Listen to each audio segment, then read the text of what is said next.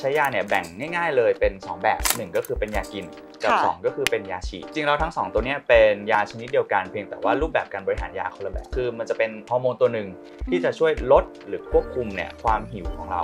นะครับทำให้เราหิวน้อยลงอิ่มได้นานมากขึ้นอืมนะครับต้องมีการเข้ามาปรึกษา มีการเข้ามาพูดคุยกันก่อนว่าอืมเหมาะสมหรือเปล่า ก็ควรปรึกษาแพทย์ก่อนนะคะใช่ไม่ได้แบบไปทำเองหรือฉีดเองอย่างนี้ไม่ถูกต้องได้ครับถูกต้องครับสิ่งที่หลายคนกังวลนะครับ ถ้าเกิดว่าการรักษาด้วยการใช้ยานะครับไม่ว่าจะเป็นยากินยาฉีดเนี่ยครับว่าค่ะเอ๊ะจะมีโยโย่ไหมอ่าอ่าโอเคมีไหมเอ่ยต้องบอกก่อนเลยว่าไม่มีอะนะครับถ้าเราใช้ในการคุมอาหารเอ่อออกกำลังกายร่วมด้วยาก็คือต้องทำหลาย ๆ วิธีทั้งปรับถูกพฤต้องติครับกรรมออกกำลังกาย อาจจะมียาร่วมด้วย หรือมีอ่าหัตถการอย่างเช่นมอร์ฟีสอะไรอย่างนี้ร่วมใช่ด้วยครับหลาย ๆ อย่างเนาะคุณหมออืมนะครับแน่นอนว่ามันเป็นเรื่องของการดูแลสุขภาพนะครับอืมถ้าเราอยากให้ดูดีอยู่เสมอนะครับค่ะดูดีจากทั้งภายในทั้งภายนอกเนี่ยเราก็ต้องดูแลตัวเองใช่นะครับจะไม่มีอะไรที่แบบอุ๊บปุบปับทีเดียวได้อืมหายเร็วเลยอย่างนี้ใช่ไม่มีครับถูกต้อง